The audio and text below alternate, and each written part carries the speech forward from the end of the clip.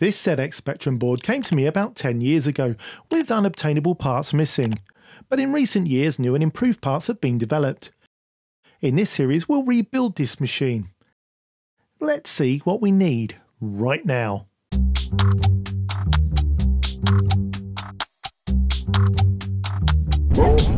stuff.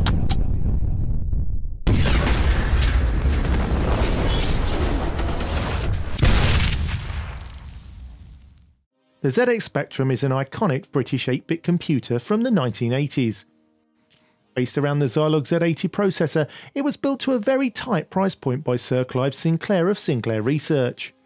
His vision was that every British home would be able to afford a computer. But this 48K Model 4A has a lot of things missing. The power jack has been hijacked, The 7805 regulator has vanished with a poof. The edge connector is dirtier than an 80s weekend at Butlins. The sockets for ear and mic have taken a hike. Keyboard connector 2 is present, but keyboard connector 1 isn't.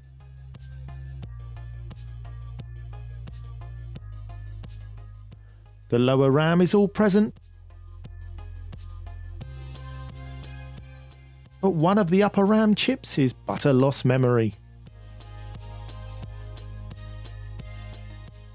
The ULA chip, which is the beating heart of the Spectrum, is completely conspicuous by its absence, and the modulator for putting images on the telly box has been nicked, revealing an embarrassing understain. The underside of the board is in good condition, Big thanks to ZX Renew for providing new parts. Let's take a look. The power socket is pretty standard stuff. I'm not sure why anyone would bother desoldering one when they're so cheap. This is a new replacement. Next is a regulator. It takes the unregulated 9 to 14 volts you find in a Sinclair PSU and brings it down to 5 volts which feeds the power section. Standard regulators get hot and this machine is missing its heatsink. We're going to use a modern 7805 regulator replacement. This one is very efficient and doesn't need a heatsink. It supplies 5 volts at 1 amp, just like the original regulator. With the missing upper RAM chip, I'll obtain a suitable replacement and install it via a socket for testing.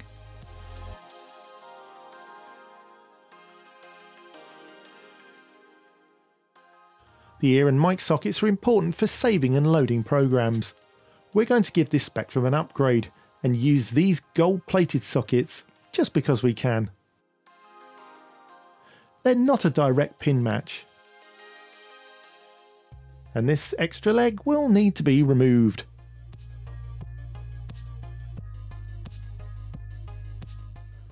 No one really wants to tune into an RF signal these days, but we do need something in place of the missing modulator. Luckily, I have this old modulator that I found in a job lot of spare parts. We'll make this fit and repurpose the output as composite instead of RF.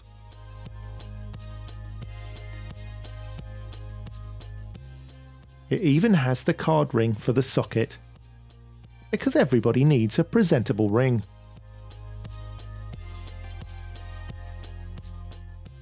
KB1 is another trip to the spares box. I've found this rather bent socket which I can straighten out and use.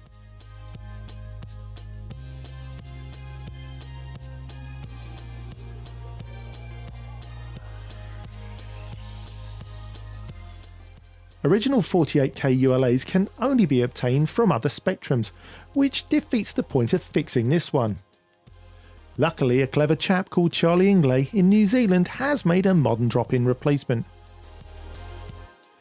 These are available from ZX Renew in the UK and are simply a matter of installing in the socket.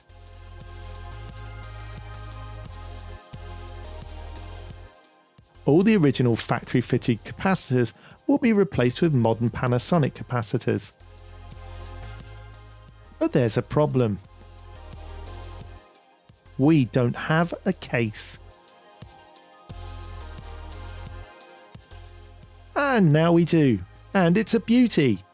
This is a limited edition clear case. It was made before the moulds were shot blasted to produce frosted cases. For the keyboard membrane we could use this brand new replacement membrane from ZX Renew. We could, but we're not.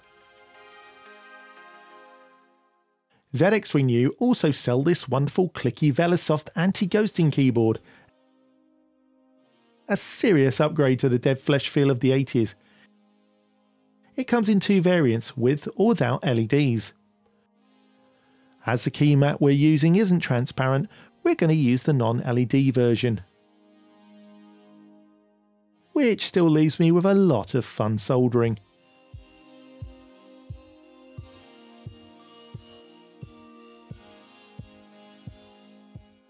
I best make sure I get these diodes the right way around.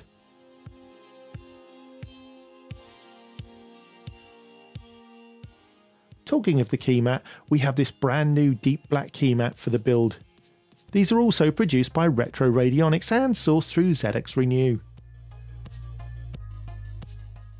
Just to fondle it until all its holes are filled from the rear.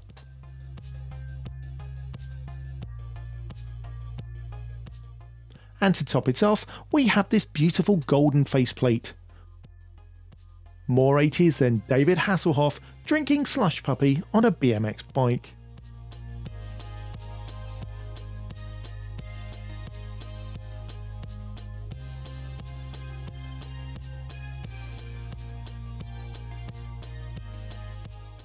On the underside of the machine we have four rubber feet.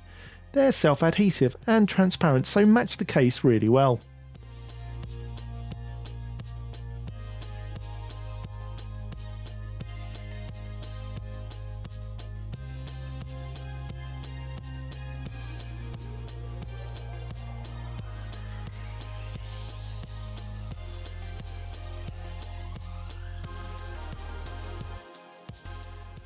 And finally, we'll need to do some serious screwing, just to bring the machine to completion.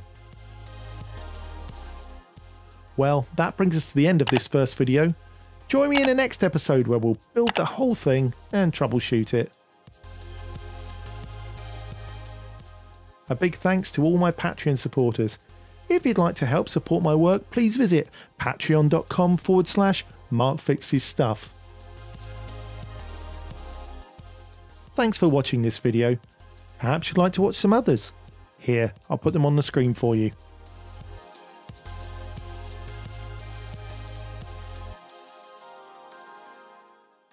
Bye.